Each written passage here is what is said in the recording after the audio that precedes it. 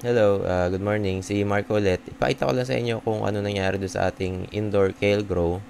So, continue dito sa screen. Uh, napuno siya ng algae. Kasi, sobrang malakas yung ilaw ko. Nagpe-penetrate siya through the styrofoam box. Tapos, ayan, nag, nag, nagkapal yung algae dito. So, we can proceed with our grow and our experiment kung makapal yung, kung makapal yung algae. So, we need to get rid of them. So, ginawa ko, pinalitan ko yung solution, inalis ko totally. Tapos nilinis ko yung box. Tapos pinalitan ko ng bagong working solution. Uh, tamo, kung, niya, kung makikita nyo dito, makikita nyo, ano nga, ayan, ito yung, ano, ito yung video dun sa loob nung, video dun sa loob ng styrofoam box before ko gawin yung, yung aking fix. Meron akong ginawang fix dyan. Pero kung makikita nyo dito, ang liwanag niya, maliwanag yung itaas. I mean, nakikita niyo yung ventilation hole sa taas. Yan yung may tape, pero maliwanag pa rin. Yung ventilation hole sa baba, wala yung mga tape, tapos sobrang liwanag. It's basically as bright as day dun sa loob, kaya talagang nag-grow yung algae ng todo. So, we need to fix that. And the fix ay, um, teka, pakita ko sa inyo yung pagkakaiba. I mean, ito yung, ito yung cover. Tapos, kung tingnan nyo dito, dito, yan, kapag nakabuka siya, di ba halos sing liwanag rin? It's just as bright kung makikita ninyo. ba? So, to fix that, ginawa ko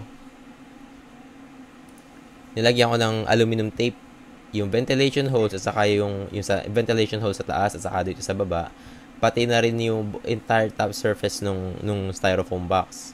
Tapos, tingnan nyo dito yung video. Yan yung video after kong gawin yung fix. Uh, yan yung, yan yung itsura doon sa loob. Kung makita nyo, madilim na siya. Tapos ang maliwanag na parts lang ay yung doon sa styrofoam cups. Yung part na walang coco coir. So, kung titingnan nyo, meron din tong part na binuksan ko siya. Ayan. O, di ba malaking pagkakaiba? Malaking pagkakaiba yung, yung before at after. Yung pag, pag binuksan ko siya. So, actually, pag inopen ko to, mala, makikita nyo mas maliwanag talaga yung, yung, yung sa labas. So, compare natin doon sa isa yung before natin gawin yung fix, ayan, napakaliwanag.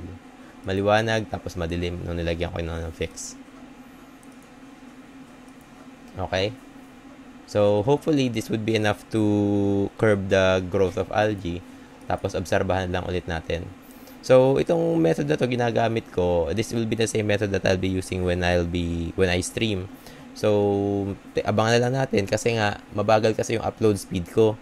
So, it's just 0.7 Mbps. Tapos, iniintay ko nakabitan ako ng PLDT ng fiber.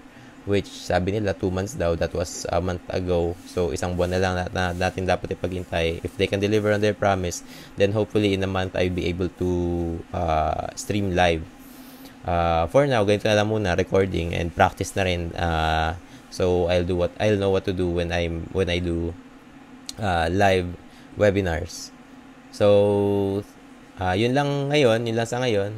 Uh, buti naman at uh, naagapan na natin yung naagapan natin yung yung problema natin sa algae and hopefully the the fix will be enough to uh, curb the growth of the algae and so that we can proceed with our experiment. So that's all for today. Uh, thank you for watching. Good luck and happy growing.